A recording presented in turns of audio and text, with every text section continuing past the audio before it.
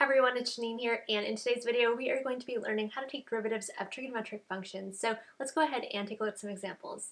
So in this first example here we have the function y is equal to sine of 3x, and so let's go ahead and take its derivative. So we have y prime equal to, and so taking a look at our table here, we see that the derivative with respect to x of sine of f of x is equal to cosine of f of x times f prime of x. So the first thing that we need to do is take the derivative of this trigonometric part, keeping the angle the same. So the derivative of sine is cosine, so we have cosine,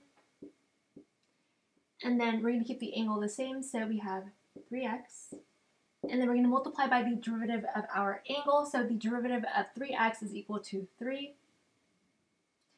and as our last step, we're going to go ahead and move this 3 out in front, so we have y prime is equal to 3 cosine of 3x.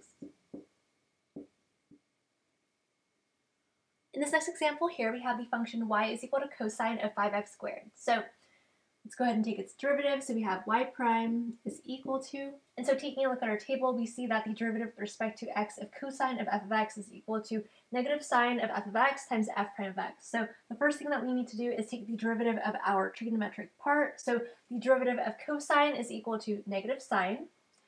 So we have negative sine and then we're going to keep the angle the same. So our angle here is 5x squared. And then we're going to multiply by the derivative of our angle. So here our angle is 5x squared. So the derivative of 5x squared is equal to 10x. And as our last step, let's go ahead and move this term here out in front. So we have y prime is equal to negative 10x sine of 5x squared. In this next example, we have the function y is equal to secant of x squared plus 1. So let's go ahead and take its derivative. So we have y prime is equal to, and so taking a look at our table, we can see that the derivative with respect to x of secant of f of x is equal to secant of f of x times tangent of f of x times f prime of x. Let's go ahead and start off by taking the derivative of our trig part. So the derivative of this trig part here is secant tangent, and we're going to keep the angle the same. So we have secant of x squared plus 1 times tangent of x squared plus 1. And then we're going to multiply by the derivative of our angle. So the derivative of x squared plus 1 is equal to 2x.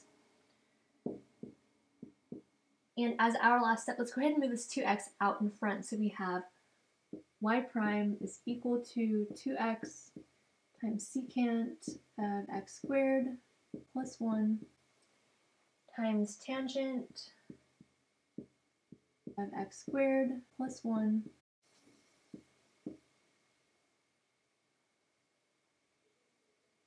So in this next example here we have the function y is equal to cosecant of x to the fifth. So let's go ahead and take its derivative. So we have y prime is equal to, and so taking a look at our table, we see that the derivative with respect to x of cosecant of f of x is equal to negative cosecant of f of x times cotangent of f of x times f prime of x. So let's go ahead and start off by taking the derivative of this trigonometric part here, keeping the angle the same. So we have negative cosecant of x to the fifth times cotangent of x to the fifth. And then we're going to multiply by the derivative of our angle. So the derivative of x to the fifth is equal to 5x to the fourth. So we're going to multiply by 5x to the fourth. And as our last step, let's go ahead and move this term here out in front. So we have y prime is equal to negative 5x to the fourth times cosecant of x to the fifth times cotangent of x to the fifth.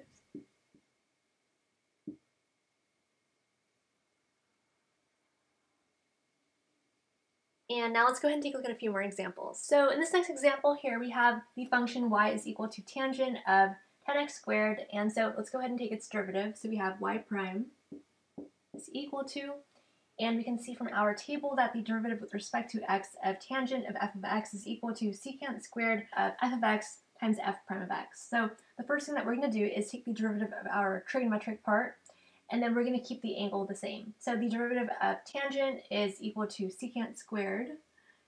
So we have secant squared, and we're going to keep the angle the same. So this angle here is equal to 10x squared. And then we're going to multiply by the derivative of our angle. as shown here. So the derivative of 10x squared is equal to 20x. And now let's go ahead and move this term here out in front. So we end up with y prime is equal to 20x times secant squared uh, of 10x squared. So in this last example here, we have the function y is equal to cotangent of 2x. And so let's go ahead and take its derivative. So we have y prime is equal to, and we can see from our table here that the derivative with respect to x of cotangent of f of x is equal to negative cosecant squared of f of x times f prime of x. So the first thing that we're going to do is take the derivative of our trigonometric part, keeping our angle the same. So the derivative of cotangent is equal to negative cosecant squared and so we're going 2 keep the angle the same, so this angle here is 2x. And then we need to multiply by the derivative of our angle, so the derivative of 2x is equal to 2.